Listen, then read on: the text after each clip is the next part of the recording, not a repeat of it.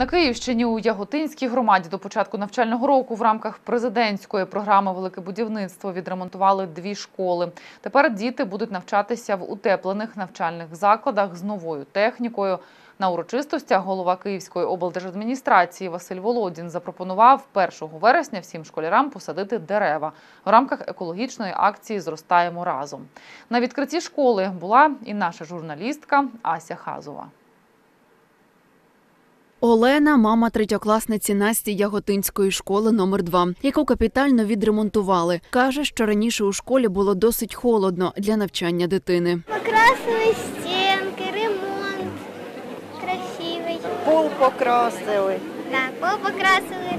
пол поремонтували, стіни покрасили. Зміни відбулися то, що втеплили, тепер тепліше буде в школі. Краще стало, на вид краще стало. Дуже красиво.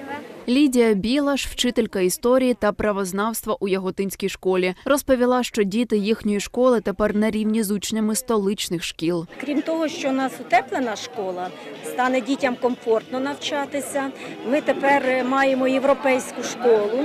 У нас багато кабінетів, смарт-кабінетів, тобто розумних, забезпечені технікою. Ми працюють наші вчителі по, по програмі систем освіти. Тому в нас біологічний, географічний кабінет, е, кабінет фізики забезпечений новою технікою. Е, Вчителі початкових класів мають теж е, повне забезпечення. Найближче місто до Жоравської школи за 30 кілометрів. Директорка освітнього закладу Наталія Бойко уже четвертий рік поспіль входить до списку топ 50 вчителів України. каже, що розвиватися та досягати високих результатів можна будь-де. Головне бажання, дії та умови. Дуже важливо, щоб в програму будівництва саме входили сільські школи, тому що сільські дітки такі самі, як і міські дітки, і вони потребують надзвичайно великої уваги. Міським діткам і так все більше відкрито, ніж нашим сільським. Ну і буде я буду гендерна рівність така між містом і селом. Це буде дуже добре. Василь Володін, голова Київської облдержадміністрації, поділився, що також навчався у сільській школі, і це не стало перешкодою для досягнення цілей. Проте вкрай важливо, у яких умовах навчається дитина. Також зазначив, що капітальні ремонти та утеплення вирішують низку економічних питань для об'єднаних територіальних громад. Ці дві е, два заклади освіти е, були е, капітально відремонтовані і проведено комплекс заходів по їх термомодернізації.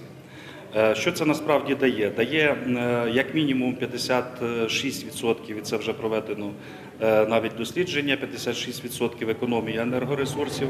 Відповідно, орієнтовно 25% це економія в кош- в коштах буде власне для самої громади на утримання цих закладів.